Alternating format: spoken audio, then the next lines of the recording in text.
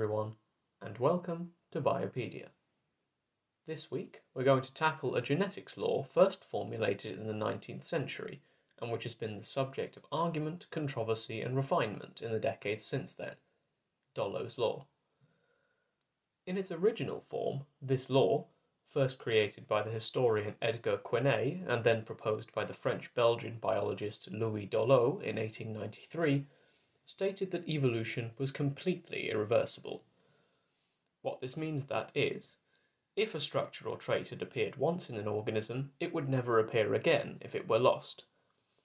Louis Dollo declared that it was just simply too unlikely that evolution would be able to perfectly undo itself and restore a trait that had been lost.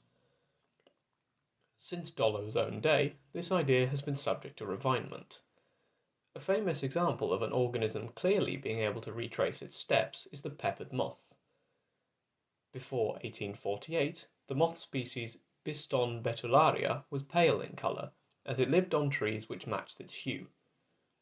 However, as the Industrial Revolution progressed in England and soot began to cover the trees on which it lived, any pale moths were easy prey, meaning the dominant colour rapidly shifted to a darker form, which had first been noticed in Manchester in 1848. By 1898, just half a century after it was first noticed, the darker moth outnumbered the paler version by 99 to 1. The reversal came once the effort to decrease air pollution in England began, which meant that trees became lighter again.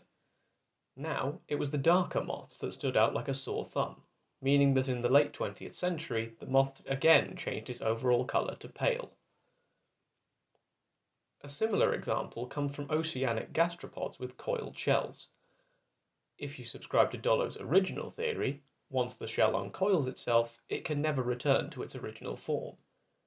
However, when biologists constructed a phylogenetic tree using three genes in 94 species of gastropod, they found that gastropod shells had gone back to a coil form from uncoiled at least twice.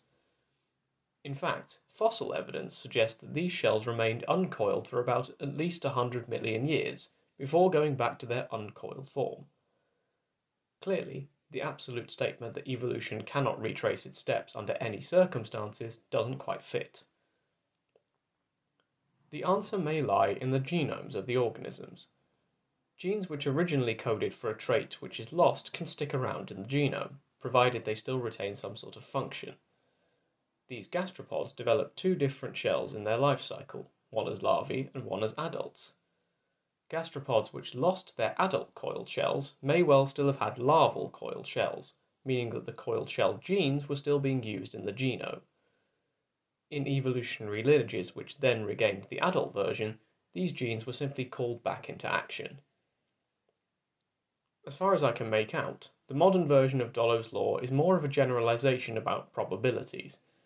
Biologists such as Richard Dawkins now state that it is extremely unlikely that the exact same path to that trait will be followed twice. It has also been suggested that the irreversibility might still hold up with broader themes such as body plans.